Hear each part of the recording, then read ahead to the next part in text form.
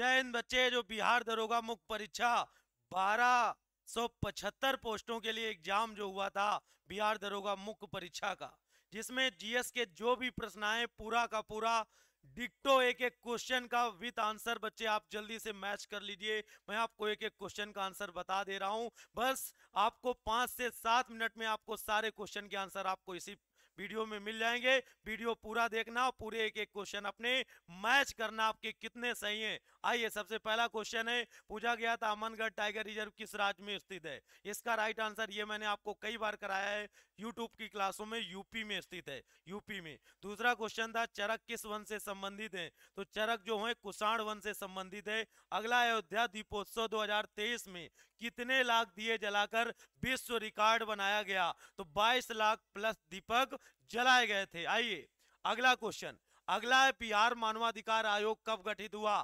तो बिहार मानवाधिकार आयोग जो गठित हुआ, सन 2000 में गठित हुआ था। बी आर अंबेडकर ने डिस्प्रेस क्लास एसोसिएशन की स्थापना कब की? तो यह किया था 1930 में बच्चे। कब किया? 1930 में। उपराष्ट्रपति को पद से कैसे हटाया जाता है? तो उपराष्ट्रपति को पद से हटाया जाता है राज्यसभा के संकल्प द्वारा। लिखा है, उत्कल दिवस। ये भी क्वेश्चन कई बार दिवस कराए गए हैं। उत्कल दिवस नाम पता चल रहा है। उड़ीसा राज्य से। और उड़ीसा राज्य एक अप्रैल को कौन सा दिवस मनाते हैं? उत्कल दिवस। एक अप्रैल यानी फ़र्स्ट अप्रैल को। चलिए, अगले क्वेश्चन में आइए। लिखा है, वेटलैंड डे यानी आर्द्र भूम दिवस कब मनाते हैं? तो आप कहोगे दो फरवरी, लेटेस्ट पूछ लिया गया आपका। अगला है, सबसे बड़ा, अशोक चक्र कहाँ स्थापित किया गया? तो देखो, पहले ये सारनाथ में था, लेकिन अब ये बच्चे टोपरा कला उत्तर प्रदेश में स्थान पड़ता है, वहाँ पर सबसे बड़ा अशोक चक्र स्थापित किया गया। लिखा है, ताश के पत्तों में से लाल पत्ती की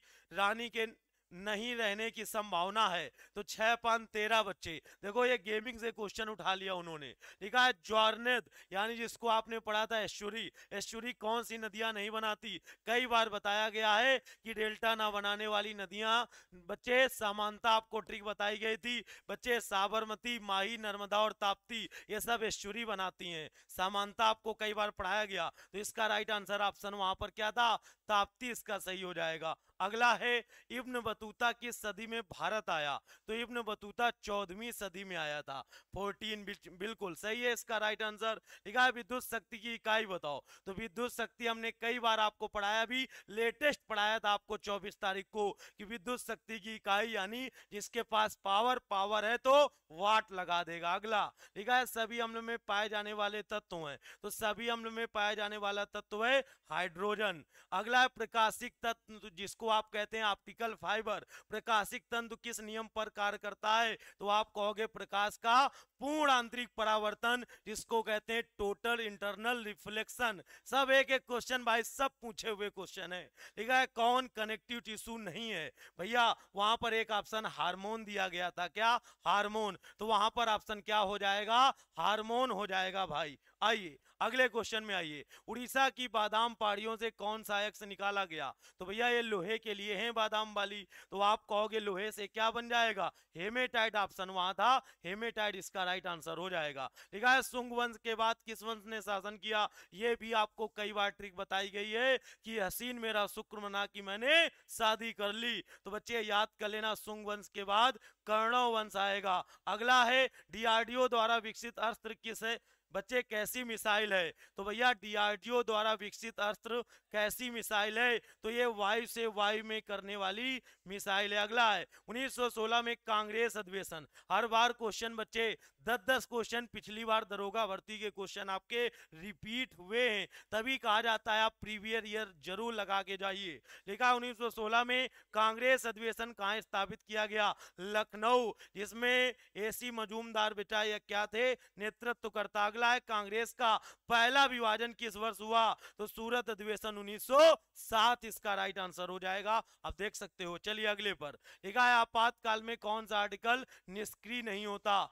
तो आपात आपातकाल के समय कौन सा आर्टिकल निष्क्रिय नहीं होता? आर्टिकल ट्वेंटी ट्वेंटी वन लिखा है, कोलकाता का सहयोगी बंदरगाह। तो हल्दिया, ये भी आपको कई बार पढ़ाया गया है, हल्दिया बंदरगाह। लिखा है, समान नागरिक संहिता, किस आर्टिकल में? तो आर्टिकल फोर्टी फोर अगले में आओ। लिखा है, पूँगा घाटी किसके लिए जाना जाता है? तो भूतापी ऊर्जा के लिए। क्लियर है? आइए अगले क्वेश्चन में। लोकसभा अध्यक्ष एवं उपाध्यक्ष दोनों अनुपस्थित हों। तो लोकसभा के बैठक को सुगम कौन बनाता है तो अध्यक्ष पैनल करता है। ठीक है, लोकसभा अध्यक्ष के चुनाव की तिथि किसके द्वारा घोषित की गई है? तो भैया, राष्ट्रपति अगला, कोयला भंडारण में प्रथम राज भंडारण में पूछा है तो भंडारण के मामले में कौन हो जाएगा?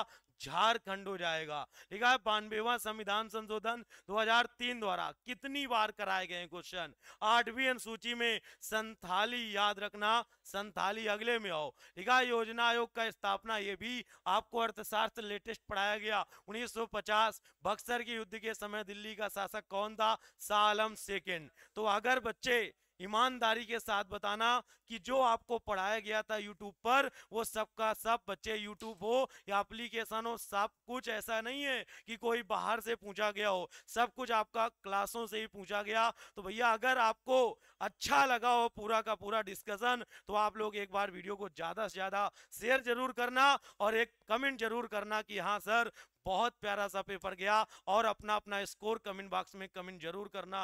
जी, कितना आपका स्कोर सही हुआ, कितने सही, कितने गलत, फिर आगे की जानकारी आपको नेक्स्ट वीडियो में दी जाएगी। थैंक यू, जय हिंद, जय भारत।